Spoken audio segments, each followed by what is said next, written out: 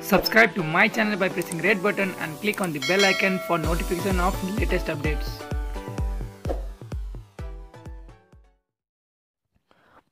भारतमा कोरोना सङ्क्रमित बढ्दै गएका छन्। ओल्डोमिटरका अनुसार आइतबार बिहान भारतमा सङ्क्रमितको सङ्ख्या पन्ध्र हजार सात सय तिससम्म पुगेको छ।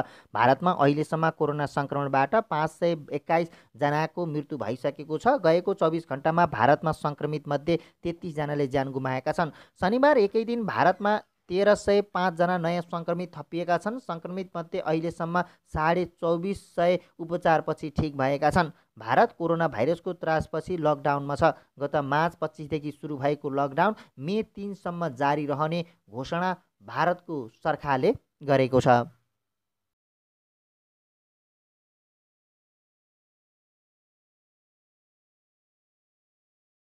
Subscribe to my channel by pressing red button and click on the bell icon for notification of latest updates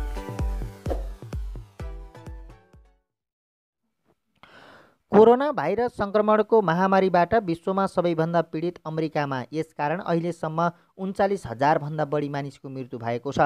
यो खबर तयार पार्दासम्म सम्म ओल्डोमिटरको तथ्याङ्क अनुसार कोरोना सङ्क्रमणबाट अङ्ग अमेरिकामा उन्चालिस हजार चौधजनाको मृत्यु भइसकेको छ।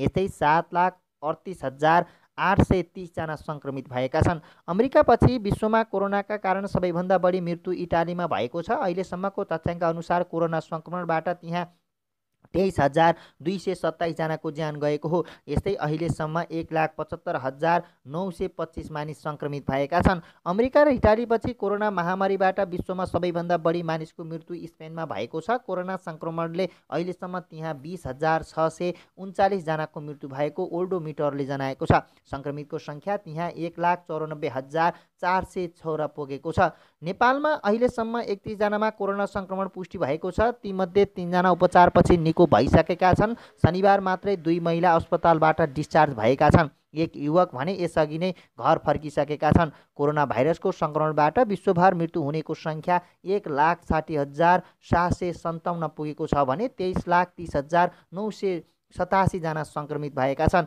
त्यसै गरी कोरोना सङ्क्रमितमध्ये अहिलेसम्म उपचारपछि निको हुनेको सङ्ख्या पाँच लाख छ्यानब्बे हजार छ सय सतासी पुगेको छ।